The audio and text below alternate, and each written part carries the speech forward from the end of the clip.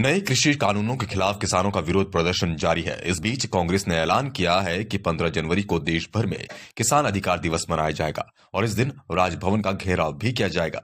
AICC के आह्वान पर उत्तराखंड में भी कांग्रेस विरोध प्रदर्शन करेगी। कांग्रेस प्रदेश उपाध्यक्ष सूर्यकांत दसमाना ने बताया कि कांग्रेस किसान आंदोलन का समर्थन करती है। नए कृषि कानून किसान विरोधी हैं। इस प्रदर्शन के माध्यम से केंद्र सरकार से नए कृषि कानूनों को वापस लेने की मांग की जाएगी।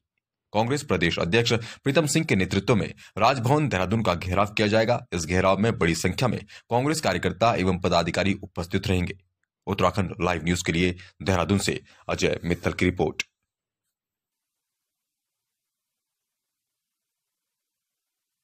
है कि हम लोग किसानों के मामले में राज्य भर में और देश भर में जो आंदोलन चल रहा है किसानों का उसका कांग्रेस पूरी तरह से समर्थन कर रही है। राष्ट्रीय अध्यक्ष श्रीमती सोनिया गांधी जी ने इस मामले में पार्टी को आह्वान किया है कि आगामी पंद्रह तारीख को हम लोग पूरे देश भर की राजधानियों में किसानों के सवाल पर पार्टी प्रदर्शन करेगी।